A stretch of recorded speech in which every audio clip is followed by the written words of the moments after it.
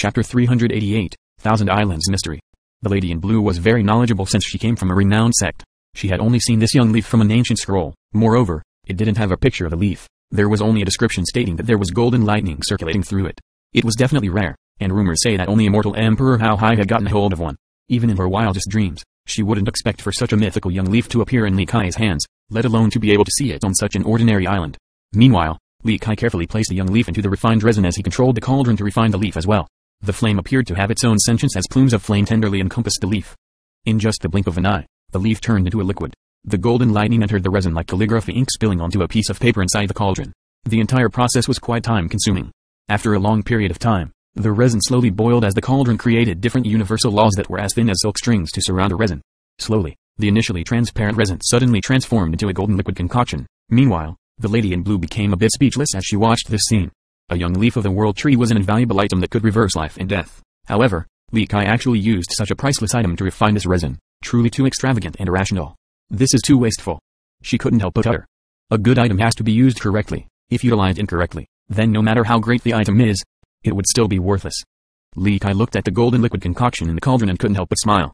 Next, he also threw the ghost's origin ancestral key inside the contraption. Once it was inside, Li Qiye kept on fueling the flames, causing the medicinal concoction to boil even more.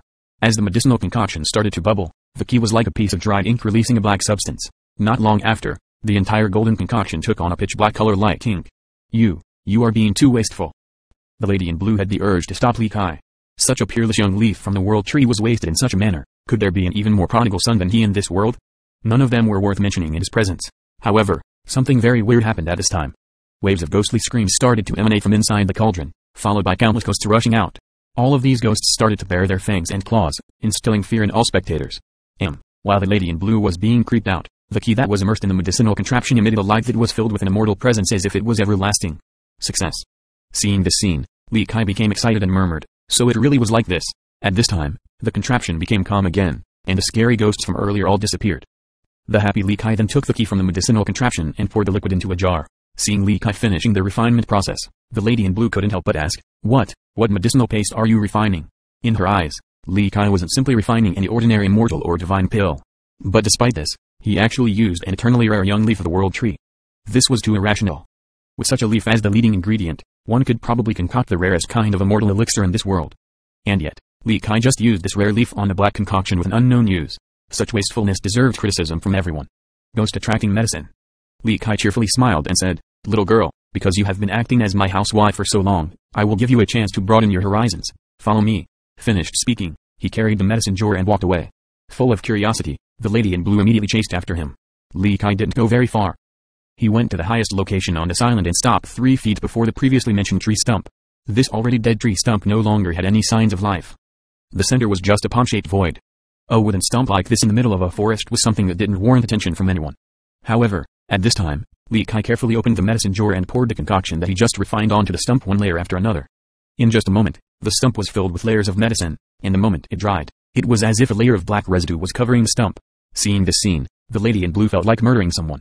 This was the medicine that was created with the world tree's young leaf, yet Li Qiye was pouring it over a dead stump. Who in this world was more wasteful than him?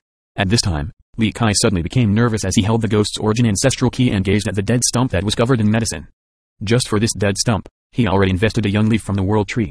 If this didn't work, then it would truly be a waste. A while later, the entire estuary suddenly shook.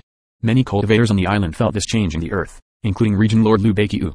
There was no follow-up to the initial tremor.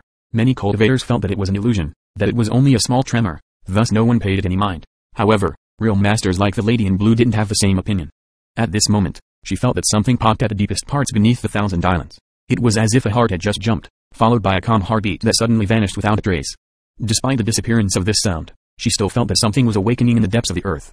Maybe the strongest creature since the start of time had been sleeping beneath these grounds. In this instant, anyone that could see the blade marks left by Li Qiye on the ghost locust trees around the islands would find that these cuts were coming alive. The runes began to move, and they suddenly shifted underground. This was the great spell that Li Qiye crafted. Keep in mind his research regarding the islands was not something he recently started. He had already researched these islands a long time ago, and despite having menial returns, he still found a thing or two regarding the secrets of this place. Alas, he had been missing two key things, the young leaf of the world tree and a ghost's origin ancestral key. Especially during his sudden revelation when he looked at the key. At that time, he immediately answered a few questions that had been haunting his mind. a few secrets that were unsolved in the sacred nether world. He stood there with bated breath as he watched the dead stump. An unknown amount of time passed by before a slight popping sound gently rang. At this time, the withered stump suddenly gave birth to a young green leaf. This young leaf had a magnificent green color and sprouted from the thick layer of medicinal paste, signifying that it was healthy and growing. Yes. Li Qiye rejoiced after seeing this faint green leaf. Amidst this moment of jubilation, the dried stump suddenly spewed out a thick mist as black as ink. This mist was like a cloud of nether energy that caused others to shiver with their hair standing on end. Li Qiye immediately threw the key in his hand into the mist. With a buzzing sound, the key actually hovered in the mist and emitted many waves of light that carried an everlasting energy. These strands of light suddenly penetrated the stump and drilled into the ground from that spot. Next, the lady in blue heard a series of sounds that resembled cheers, but she also felt as if this was merely an illusion and couldn't tell whether they were real or not. Amidst her confusion, little ghosts, one after another, suddenly jumped out from the empty tree stump. These little ghosts were all shrouded in mist, and all of them had different figures and expressions. One of the little ghosts wore a golden robe as if he was the king of ghosts, another had two fangs while the third had two wings. These ghosts suddenly rushed into the ghost's origin ancestral key. The three-foot-long key initially had 99 little ghosts carved on it, so the ghosts that jumped out from the tree stump found their corresponding carvings and became one with the key. The lady in blue was speechless and in the daze, but she still managed to count the little ghosts that came out from the ground. After the last one emerged, a total of 99 little ghosts could be seen on the key. The 99 little ghosts all successfully found the carving that corresponded to them on the key and became one with it. It was as if the 99 engravings on the key were crafted from the figures of these 99 little ghosts from underground. After all the little ghosts entered the carvings, the key seemed to have a life of its own and emitted a divine mist like aura. In a short period of time, a ghastly energy covered the key, but it was no longer ominous. Instead, it was filled with a divine aura as if it was the breath of a ghost immortal.